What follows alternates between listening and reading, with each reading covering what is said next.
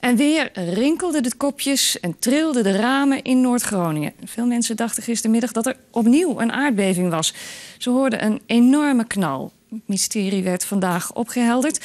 Op het Duitse eiland Borkum was een zeemijn tot ontploffing gebracht. Het ging om een aangespoelde Engelse zeemijn uit de Tweede Wereldoorlog.